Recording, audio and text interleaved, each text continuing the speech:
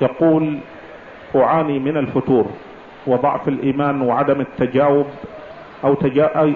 وعدم تجاوب أهلي معي في, في الاستقامة والالتزام فبنا... فبماذا تنصحونني؟